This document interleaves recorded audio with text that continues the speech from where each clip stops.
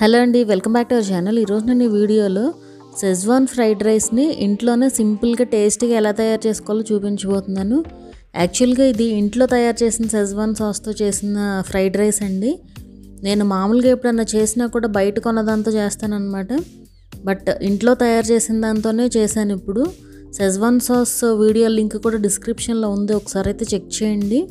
చాలా simple process అనమాట so ఇప్పుడైతే ఈ ఫ్రైడ్ రైస్ ప్రాసెస్లోకి వెళ్ళిపోదాము.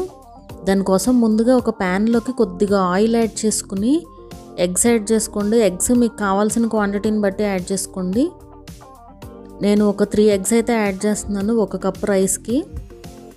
అలాగే ఈ ఎగ్కి సరిపడా మాత్రమే సాల్ట్ యాడ్ చేసుకోండి. ఇక్కడ చాలా తక్కువ పడుతుంది అనమాట సో కొంచెం యాడ్ చేసుకుని ఇలా మిక్స్ చేసుకుని పక్కన పెట్టేసుకోండి. ఇది మరీ ఎక్కువ ఫ్రై అవ్వకూడదండి. వేగాలి కానీ మరీ కలర్ చేంజ్ అయితే అయిపోకూడదు అనమాట ఎగ్. ఇప్పుడు దీన్ని పక్కన పెట్టేసుకుని వేరొక ప్యాన్లోకి కొద్దిగా ఆయిల్ యాడ్ చేసుకుని ఉల్లిపాయలు పచ్చిమిరపకాయలు అలాగే క్యారెట్ యాడ్ చేసుకోండి. పచ్చిమిరపకాయలు వచ్చి మామూలుగా కంటే మనం కొంచెం తక్కువ యాడ్ చేసుకోవచ్చు అండి. లేదంటే మీ కారానికి తగినట్టు యాడ్ చేసుకోండి. ఇప్పుడు ఇవన్నీ కూడా చక్కగా ఫ్రై అయిపోవాలి. ఇవి త్వరగా ఫ్రై అవ్వడానికి కొద్దిగా సాల్ట్ యాడ్ చేసుకోండి. కొంచెం త్వరగా మెత్తబడుతుంది కదా క్యారెట్ కూడా.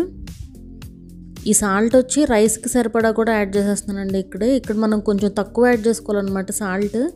ఇందులో మనం సోయా సాస్ అలాగే ఈ సెజ్వాన్ సాస్ కూడా యాడ్ చేసుకుంటున్నాం కాబట్టి కొంచెం తక్కువ పడుతుంది. సో ఇప్పుడు క్యారెట్లు పర్ఫెక్ట్గా కుక్ అయిపోయినాయి కాబట్టి ఒక one and half spoon schezwan sauce add చేసుకోండి. ఒక నిమిషం పాటు కలుపుకుంటూ ఫ్రై చేసుకోవాలి. దాంతో ఆ కూరగాయ ముక్కలతో మిక్స్ అయ్యేలాగా అలాగే ఇందులోకి ఒక half spoon soya sauce add చేసుకోండి. ఈ సోయా సాస్లో కొంచెం సాల్ట్ అనేది ఉంటుందన్నమాట సో మనం చూసి యాడ్ చేసుకోవాలి. ఇది ఇలా ఫ్రై చేసుకుని ఇప్పుడు ఇందులోకి మనం ఉడికించి పెట్టుకున్న రైస్ యాడ్ చేసుకోండి. నేను బాస్మతి రైస్ని జస్ట్ నార్మల్ రైస్ లాగానే ఒక ఫోర్ విజిల్స్ వచ్చే వరకు కుక్ చేసుకున్నానండి కుక్కర్లో. ఆ రైస్ని తీసుకొచ్చి యాడ్ చేస్తున్నాను. అంటే ఒక ఫోర్ అవర్స్ ముందైతే కుక్ చేసి పెట్టుకున్నాను. ఫోర్ అవర్స్ తర్వాత అయితే మనకి పర్ఫెక్ట్గా ఆరిపోతుంది కాబట్టి చక్కగా పొడి పొడిగా ఉంటుందన్నమాట.